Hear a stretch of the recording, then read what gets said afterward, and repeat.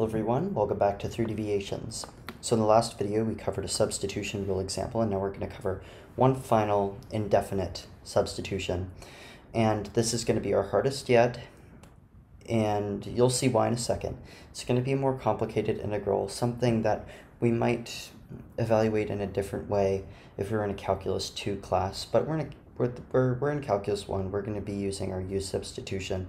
This is really an example to allow us to fully understand how a substitution works to the fullest extent. Now, if we remember the chain rule, the chain rule is allowed to be done twice. We can do the chain rule as many times as we need to use the chain rule so we can differentiate our function. And the u substitution is no different. We can take multiple substitutions of one integral. If our first substitution isn't enough, well, then we do another substitution. And that's the way it works. We can keep on going until we have an integral that roughly matches our table. So we'll, we'll see how to do that in this example. So this is going to be a little bit tougher. As always, I recommend that you pause the video, try to solve it on your own, and then I'll give an explanation afterwards.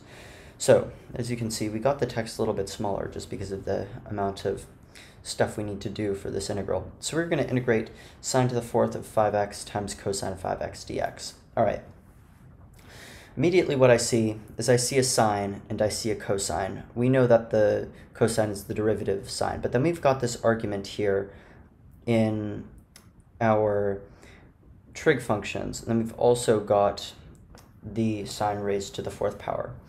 So we know that this is going to be a little bit trickier. So I think what the best thing to do is to always set the inner function equal to u. So we have u and we'll set that equal to 5x. Then du is going to be reduced to 5 dx. Right, so we can set that up in our bracket. u is going to be equal to 5x.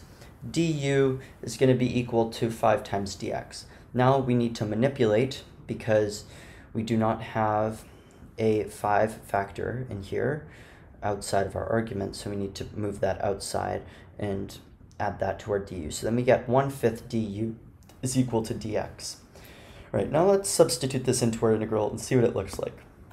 All right, now we've got 1 fifth times the integral of sine to the fourth of u times the cosine of u du.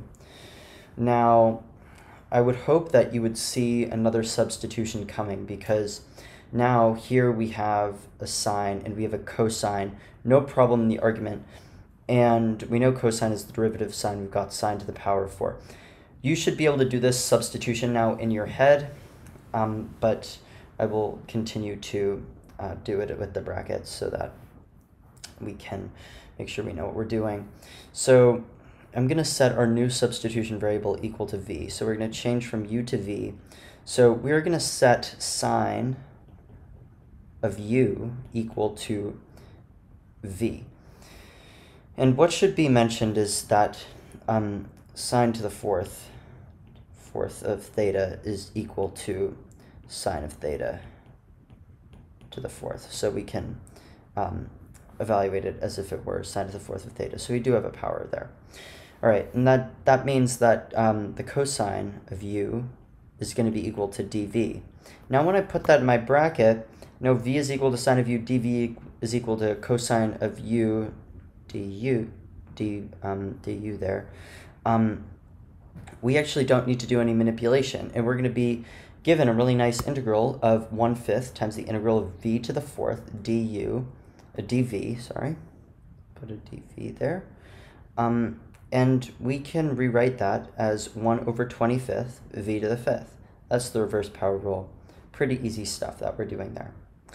So now that we've finished with our integrand, now we have a value. Now we need now we just need to do a lot of back substitution. So let's go back to u first. So u is equal to um, or v is equal to the sine of u. So we just um, rewrite that as 1 over 25th sine to the 5th of u. All right, now we just need to back substitute in for x. That's easy as well. That's just adding in the arguments. That gives us 1 25th sine to the 5th of x, or sine to the 5th of 5x. And of course, what would a proper um, substitution answer be without a constant of integration. Always add that plus c. All right, so now we have our final answer for a double substitution, extra hard substitution problem. Look out for that on your Calc 1 finals. And that is it for our indefinite substitution. So now that you know how to take these integrals, I would hope that you'd go to the daily integral playlist um, and try to see if you can solve any of those guys. Those are a little bit harder than the ones we're doing here, except for this one, which is harder. Um, so I, I urge you to go check that out and see if you can solve it, and if not, then watch the video. All right, in the next video of three deviations, we're going to be moving on and we're going to start talking about how to tackle a u substitution integral definitely. So when we're solving for a numerical answer, not a function answer. And it's going to have a little bit of a curve to it. So we'll see that later. Thank you for watching. We'll see you guys to talk about some definite integration with the u substitution method. Thank you.